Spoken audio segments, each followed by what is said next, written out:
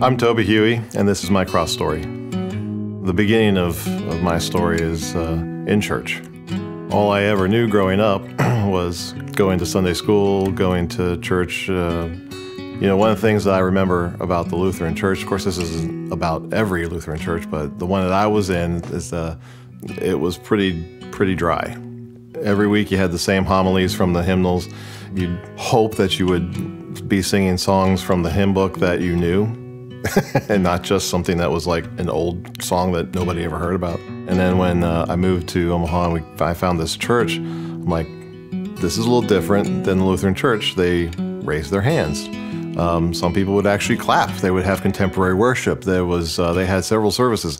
Another thing about this uh, church is that it had several thousand members every weekend, uh, which was much larger than any church that I grew up in. Because um, usually, if you're you're lucky to get 100 people in a Lutheran church at the same time. What was interesting is I started seeing other Christian programs, ministries, things like that.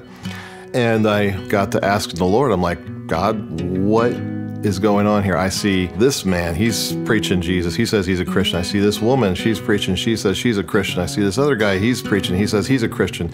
And their ministries are different. I'm seeing uh, they're talking about uh, gifts of the Holy Spirit. They're talking about um, different ministries that are going on, things that I'd never heard about in the Lutheran church. And he's like, hey, read the Bible, read the New Testament. And without any sort of a, a God box put around me, I just started reading the New Testament without any sort of a, a Lutheran bias, okay? Because we all grow up in church, we all have a certain way of thinking, we all have a way that we're taught to think when we're going through church.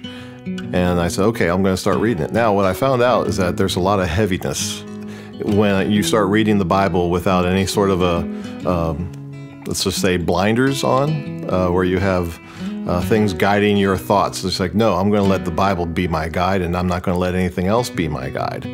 Man, I tell you what, it was like God smacked me upside the head with the Holy Ghost two by four because He said, everything I've taught you since you were all when since you were a little kid, it's all real.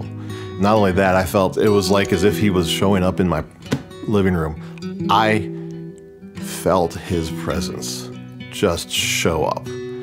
And it was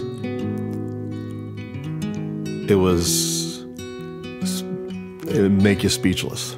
That presence was so overwhelming and so impressive and all I could do is say, God, I've known about you all my life, but I've not known you.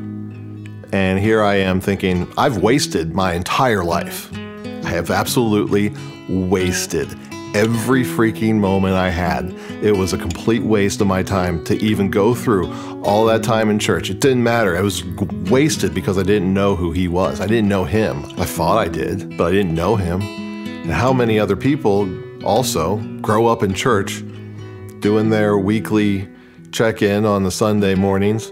Uh, you know, hitting it up twice a week, maybe on the Christmas and the Easter, or, you know, uh, weeks, but they don't really know the Maker. They don't really know the Holy Spirit, the one who gave them life, the one who gives life and breath. Um, and I want everybody to know Him. Why? Not just because of the awesomeness that I've found in Him, but you know, there's a God in heaven. His heart's broken because we don't know him.